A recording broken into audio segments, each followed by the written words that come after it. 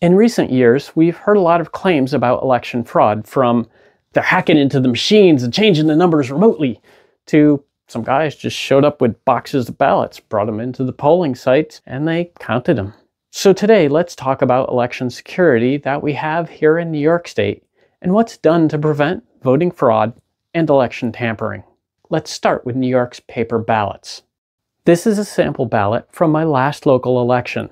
A real ballot would not have the word sample, and there would be black boxes around the edges that help the scanner identify and read the ballot. So no, you can't just download the sample ballot, edit out the word sample, and print out stacks of fake ballots. Voting on these is like the tests that many of us took in school, where you fill in the bubble corresponding to the candidate you choose. When you're done, you shove it into a scanner that reads and validates it. Validates. What's that entail? Sometimes people will touch a pen to the selection circle, but not fill it in like they were considering the candidate. What if that's the only circle in that race with any mark? What if another candidate is properly selected? What was the voter's intention? Validation isn't so much security as avoiding another mess like in Florida in 2000. Now, they were using punch cards, not scanned ballots. But during the recount in the close presidential race, there was a debate over cards that weren't fully punched, or the punched out portion was still dangling, and whether that meant the voter intended to choose a particular candidate. We don't want a repeat of the pregnant and dangling chads seen in Florida, so the scanner validates that each circle is entirely empty or completely filled, thus avoiding the confusion and the fight about it after the fact. If the scanner finds a problem, it returns the ballot for correction. If the voter didn't fully fill in the circles they wanted, they can correct this and try again with the same ballot. If they left marks on unintended candidates, they must spoil their ballot. The spoiled ballot is sealed in an envelope and kept by poll workers for later accounting. And the voter gets a fresh ballot to choose again, being careful not to leave confusing marks this time. The scanner also checks for overvoting. In this family court race, for example, I'm allowed to vote for up to two candidates. I can abstain, that is, not vote for anyone, or I can vote for one or two candidates. But if I vote for three or more, the machine will tell me that I voted wrong. My options are to cast the ballot as is and have my invalid choice in that race ignored. Or I can have my ballot returned to me so that I can request a new one and correct the problem on a new ballot. As ballots are accepted by the scanner, the machine tallies the choices in each race. At the end of day, the machine generates a report of the number of ballots cast and the number of votes for each of the candidates in each of the races. Let's talk about the poll workers who collect and transport that report. Poll workers have a long day. They arrive before polls open, hang up the signs and the flag, arrange the room, power up the machines, inventory supplies, and make sure there's no ballots cast yet. Throughout the day, they check people in, give them ballots, and provide assistance if there are questions. At the end of day, poll workers take down their signs, audit ballot counts, pack up the machines, and deliver the ballots and results to the Board of Elections. And throughout the day, they also ensure the validity of the polling and the results. How? Let's go into that. First, think about when you arrive at your polling place. There's often a greeter like at Walmart. Somebody else checks you in looking up your name in the district roster. An assistant hands you a ballot. A second person whose role is just handing you a sheet of paper. And there's somebody else whose sole job seems to be handing out stickers that say, I voted today. Your polling site looks like some kind of jobs project with way more workers than is actually necessary. There are indeed a few extra staff because, given the super long day, poll workers will need to step out and stretch their legs, take a bathroom break, get lunch, or even go home sick. But the bigger deal is that half those workers are Democrat. The other half are Republican.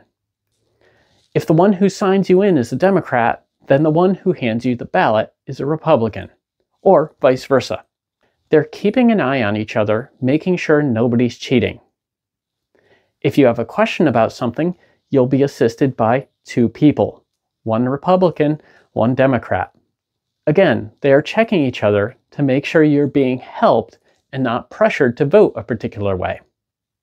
Anything sensitive is done by one of these bipartisan teams, one Democrat, one Republican, so that neither side can rig the result and to ensure everybody's honest. All those poll workers are also needed at the start and end of the day during setup and takedown.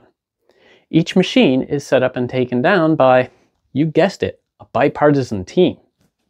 The setup team checks the machine's start of day report to make sure that the vote counts are zeroed out.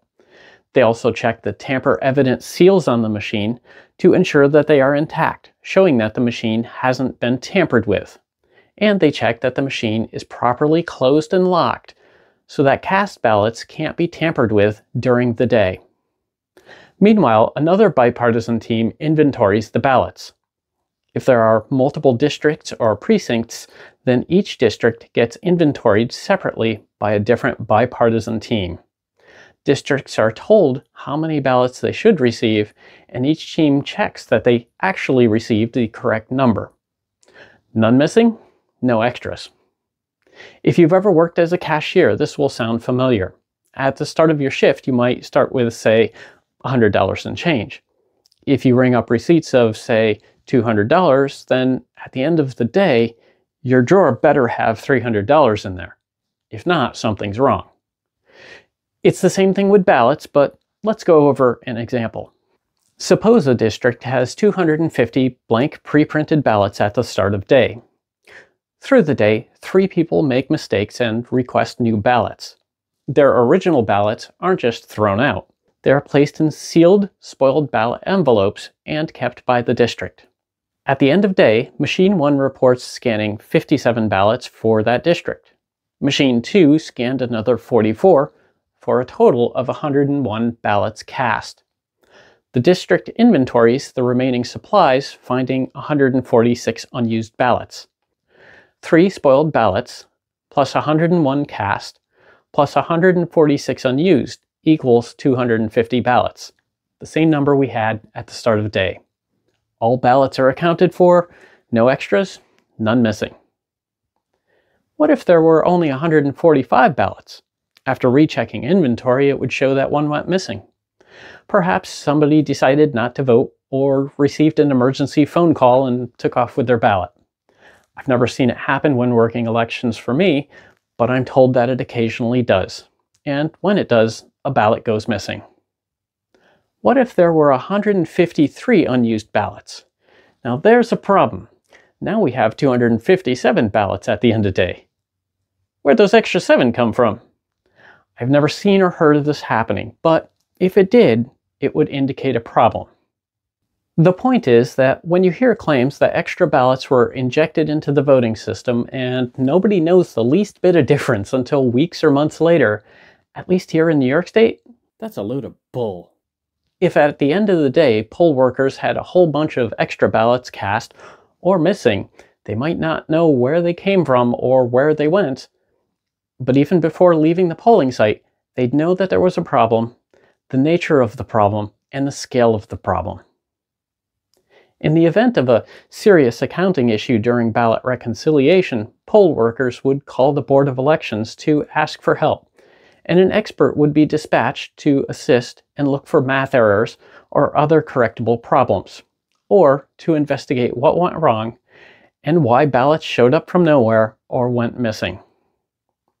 Ballot reconciliation at the end of day ensures that there are no extra ballots, no major shortage of ballots, and that the number of ballots cast is recorded so that in the event of a recount, workers can ensure they have the correct number of ballots for the recount and that none have been lost or added since Election Day.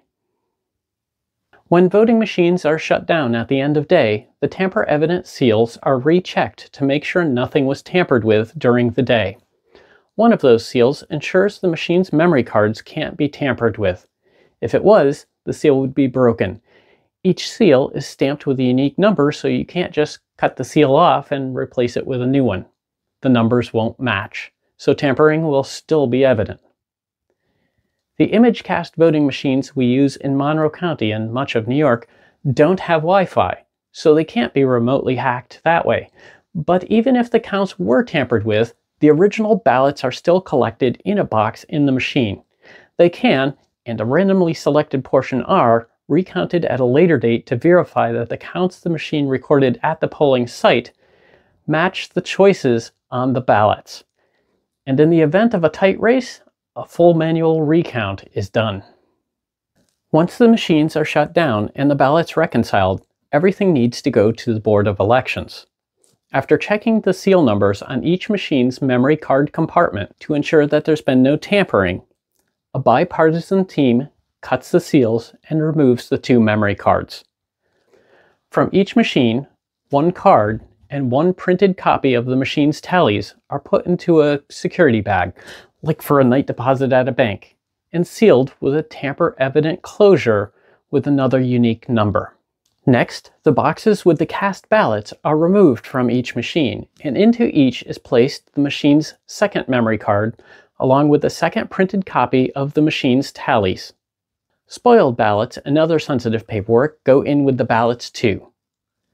Now, the two secure parcels with tamper-evident seals are taken to a collection point. One bag is transported by a Democrat, the other by a Republican. And when arriving at the collection point, they're taken away to the next phase by, what do you know, another bipartisan team. On election night, the Board of Elections uses the memory cards and printed reports to aggregate the results. Bipartisan teams of one Democrat, one Republican, tally up results, and verify each other's totals. What we just covered is for polling on Election Day. We also have early voting here in New York, which is a little bit different. There are a limited number of early voting locations, so instead of dealing with pre-printed ballots, they print ballots on demand based on a voter's district. How does that get reconciled? It's very similar. Poll workers inventory the supply of blank printer ballots instead of pre-printed ballots at the start of day. At the end of day, they recount inventory. The number of blank ballots remaining plus the number of cast ballots and spoiled ballots should equal the count from start of day. Additionally, a count of voters who signed in is kept, usually by the tablet they sign in on. At end of day, the voter count and spoiled ballot counts recorded by the sign-in tablet should equal the number of ballots cast and spoiled ballots collected. There is talk in New York about moving to touchscreen voting. Instead of marking a pre-printed ballot with a pen, you'll vote on a tablet, which will print a ballot with your choices. You'll then put the machine-printed ballot into a scanner or perhaps a collection box for central scanning later. This would save the trouble, cost, and waste of pre-printed ballots. Should this come to pass, there will still be ballot reconciliation, and it will probably resemble closely that of today's early voting. So that's day of elections security. It's like some folks do this for a job and have thought through the security and built procedures and methods to make election fraud difficult and evident if it does happen. So what's to prevent people from just photocopying ballots and mailing them in by the hundreds? When you submit an absentee ballot, you don't just mail it in anonymously. There's a special envelope you have to fill out that identifies you, the voter. The Board of Elections knows who applied for absentee ballots and they keep track of who returned them. They're not going to count ballots that show up in anonymous envelopes.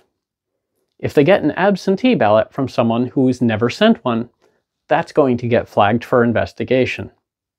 If multiple absentee ballots are returned from the same person, that's also going to get flagged. But what about the League of Dead Voters? Aren't they out there voting absentee by the thousands? County Vital Statistics records all deaths in the county. That information is given to the State Health Department, which in turn passes death information on to the relevant Board of Elections. Similarly, the state communicates address changes from the Department of Motor Vehicles to the Board of Elections. Additionally, the Post Office maintains an electronic address change database. Every February, This list is used to update the voter roster. Subsequently, the Board of Elections mails everybody a postcard telling you your polling site in case it's changed. Note this mail is marked Return Service Requested. This directs the post office to return to sender instead of forwarding. The returned mail includes the forwarding address, if known, so the Board of Elections can update their files accordingly. As you can see, there are multiple redundant ways the Board of Elections knows about voters who have moved or passed on. Angry allegations of stolen elections, most often spread by those who don't like the outcome, really don't sound so credible when we know the details, do they? Is fraud possible? If Crazy John defers reporting his mom's death and shoves her in a freezer till after the election, might he get away with filing an absentee ballot as his mom? Well, maybe, but how often is that really going to happen? Or at the risk of giving the conspiracy theorists new fodder, do you think there's a warehouse out there filled with freezers of dead parents in numbers sufficiently large to swing the election, and nobody has noticed, nor has anybody spilled the beans? Come on, folks, let's get real. So what about live voters? Couldn't somebody just show up with a busload of immigrants and have them vote? Here in New York State, no, you must register to vote in advance, and the Board of Elections verifies that registrants are citizens before adding them to the roster. On election day, if you're not on that roster, you don't get to vote on the machine. Instead, you can complete an affidavit ballot, which is similar to a mail-in ballot in that your ballot goes into an envelope that identifies you, the voter, so eligibility can be assessed before the ballot is counted but that determination is made by the Board of Elections after Election Day, not by the on-site poll workers. Could someone vote using another's name? If they know a name that's on the roster, they could try. Say, Lisa. What if Lisa's already voted? It won't work. What if our hypothetical fraudster votes and then the real Lisa comes in later? The problem would be detected. And remember that seeming excess of poll workers we talked about earlier? There's usually a few locals from the area being canvassed. They may not know everyone in the district, but between them, they know a fair number of people in the poll book. There's a good chance somebody will know that our fraudster isn't really Lisa. Once again, fraudulently voting is not as easy as it sounds. Different states have different election systems. If your state has paper ballots, then they may do things a lot like New York. If you vote on a machine that prints a little receipt with your choices and a barcode or QR code that you then stick into a second machine or a collection box, that may be quite similar too. They're just using a machine to mark and print the ballot instead of a pen, and the second machine does the counting, and the receipts can still be recounted manually or by machine if necessary. If you're in one of those states where you vote on a touchscreen machine or a button panel, make your choices and hit a button that says cast and your votes disappear into the machine, I have no idea how that can be trusted. Without paper ballots to provide an audit trail, eh. What happens to your vote if the machine craps out after you voted? Eh. Here, the paper ballots could be recounted. Without paper ballots, eh. If you live in one of the states with those machines, when they come up for replacement, you might want to get that fixed. I'm not saying there is fraud in those states, there's surely some safeguards there too, but I find knowing that the machine is just a tabulation assistant for a human readable stack of papers offers a sense of assurance. I'd love to know how other states handle election security, so if you've worked polls outside New York, tell us in the comments what's similar and what's different for election security in your state.